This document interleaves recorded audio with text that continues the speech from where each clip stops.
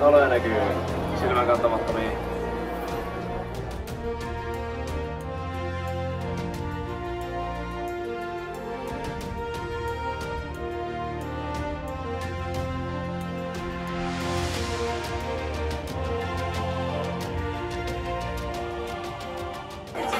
No niin, nyt ollaan täällä Tokiossa Akihabarassa tuliaisostoksella.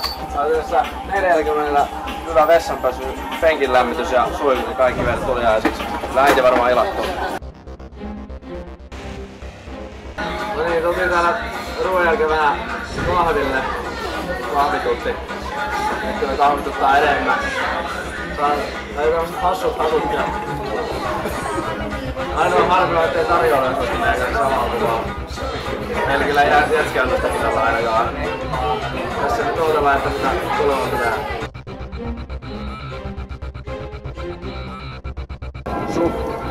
Nyt ollaan täällä Tokion metrossa, tuossa metrossa. Öö, täällä on melkein ruuhka-aika. Siellä on puoli kahdeksan ruuhka. Mennään kattoo muiden joukkueen istejä Shinjuku Starbucksiin. Saadaan löydetäänkö oikea Starbucks. Sup.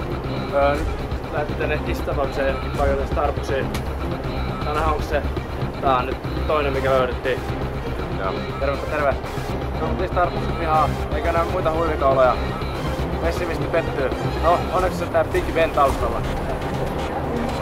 Löydettiin, tai itse asiassa paikallinen kopas, tai mikä liian infoihminen, poliisi. Ja lähti odottaa meidän tämmöset bossuus kohti Starbucksia. Oi, hele. Ei ollut tääkään. Ei oo partialaisia täällä. Mutta on kolmas Starbucksilla löytyy. Ei löytynyt Shinjukusta oikeat Starbucksia, vaikka kolme löytää. Lähdettiin naapuriasemalle Shibuya on partialaisia. Tos, tos kävellään sitten suunnassa Starbucks. Mut partialaiset ei mitään ajoa. Käydään tsekkaa.